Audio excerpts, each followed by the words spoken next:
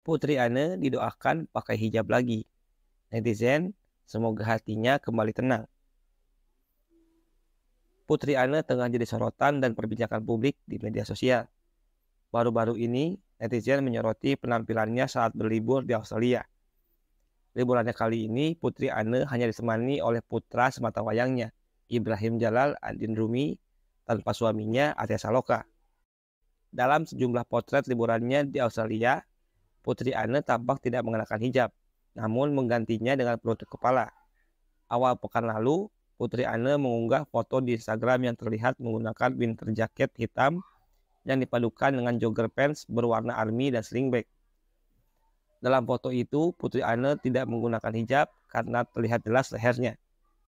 Publik pun semakin meyakini bahwa Putri Ane melepas hijabnya setelah unggahan Putri Ane tiga hari lalu. Istri Arya Saloka itu tengah berfoto di sebuah jalan. Foto itu menunjukkan Putri Ane menggunakan hoodie putih dan celana putih dipadukan dengan jaket berwarna gelap. Dalam foto itu, Putri Ane hanya menggunakan topi berwarna putih yang menunjukkan bagian samping rambut dan telinganya. Dalam foto lainnya juga terlihat Putri Ane tengah berfoto tanpa menggunakan hijab, namun kepalanya ditutupi dengan topi. Namun dari sejumlah foto yang diunggah Putri Ane di akun Instagram pribadinya, ada salah satu potret yang membuat publik bertanya-tanya terkait dengan kondisi rumah tangga Putri Ane dan Arya Saloka.